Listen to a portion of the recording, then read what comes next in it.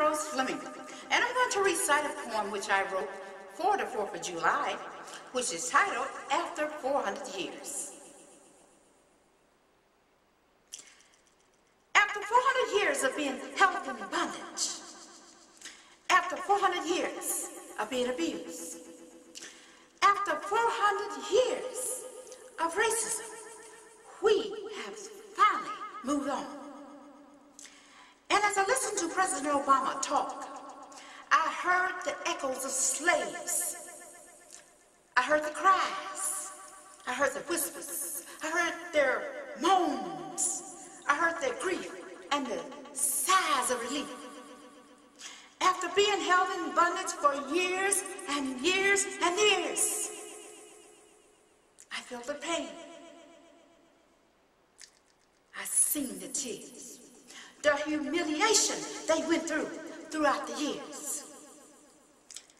And I said to them, no more tears, great-grandfather. No more tears, great-grandmother. No more tears, my people. And as their restless spirit quiets, turned into whispers at day, as if they were listening some kind of way, praising and singing songs of joy, because they knew that freedom had came to stay. Because Mr. Obama has brought to the world a brand day.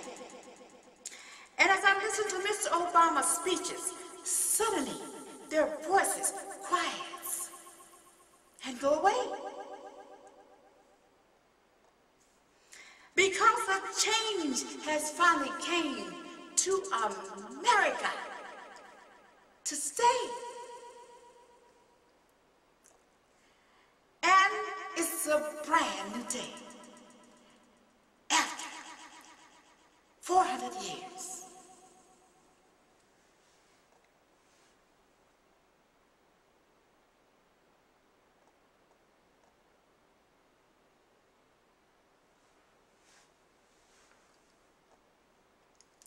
Thank you.